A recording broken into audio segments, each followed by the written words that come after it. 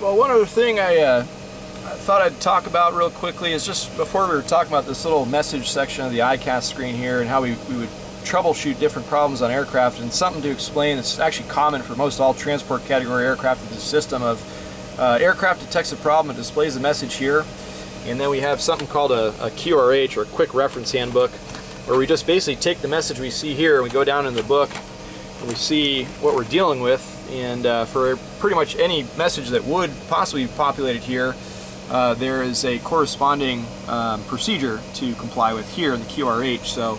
uh, this covers a lot of information. Um, it's very, very handy, and it's it's a very organized way to troubleshoot problems on aircraft, or, or basically just do whatever you need to do to, to fix it and figure out if you have to get the airplane on the ground, or if you can keep going, or, or what uh, situation or systems you may have lost uh, in uh, in relation to whatever message you've got up there. Um, but uh, if you've ever been curious about how we troubleshoot problems up here, uh, this is pretty much it. Message here, solution here. Pretty simple. It's a beautiful system.